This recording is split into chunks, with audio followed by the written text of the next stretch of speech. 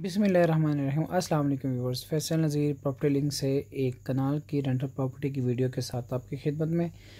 Viewers ये एक कनाल का बिल्कुल सेपरेट अपर पोर्शन है। ये इस वक्त मैं आपको इसकी टीवी लॉन्च का व्यू दिखा रहा हूँ। टीवी लॉन्च, काफ़ी बड़ा टीवी लॉन्च है, ओपन किचन है उसमें। ये बेडरूम है एक, बड़ा खूबसूरत मार्बल है, इसका मार्बल फ्लोरिंग है, नीट एंड क्लीन। और फुली वेंटिलेटेड है, पंखे वगैरह इस पर सब इंस्टॉल्ड हैं अटैच वाशरूम है।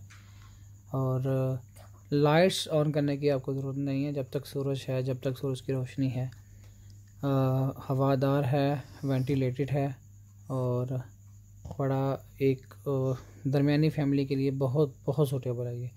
जी, ये इसका सेकंड बेडरूम है, मैंने आपको इसका पहले एक कमरा दिखाया एंटर होते साथ। और ये मास्टर बेडरूम है, इसके साथ भी अटैच वाशरूम है।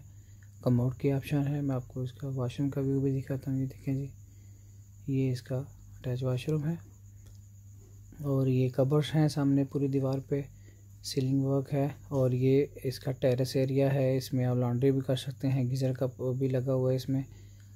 इसी तरह से इसके दो बेडरूम मैंने दिखाया ये सामने आप जो देख रहे हैं, ये जहाँ चेयर पड़ी हुई है, ये लॉक है। और ये जी इसका सेकंड पॉइंट है आ, इसके लॉन्ड्री के लिए। प्रॉपर इसे कवर किया है ग्रीन तरपाल लगा के और ऊपर से भी शेड बनी हुई है। ये यहाँ भी आप अपनी लॉन्ड्री कर सकते हैं। किचन है ये बड़ा खूबसूरत किचन टोटल न्यू इसको रेनोवेट किया किचन को सारा मार्बल टाइल्स लगवा के। ये तीसरा आ, मास्टर बेडरूम है। ये तकरीबन दो कमरों के बराबर एक कमरा है। सीलिंग वर्क है। और ये बड़ा खूबसूरत टाइलिंग फ्लोर है इसके साथ भी अटैच वाशरूम है। ये इसके वाशरूम का व्यू है।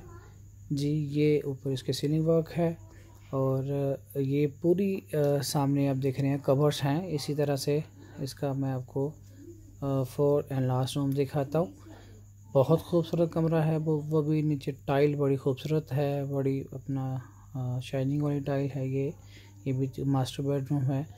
इसके अंदर भी ये देख रहे हैं आप विंडोज़ है, दोनों साइडों पे क्रॉस वेंटिलेशन के लिए बहुत खूबसूरत व्यू है। और ये पूरी दीवार पे कवर्स है। बड़ी उमदा, बड़ी अला लोकेशन पर है ये। और इसमें सेपरेट एंट्रेंस है सेपरेट गराज है।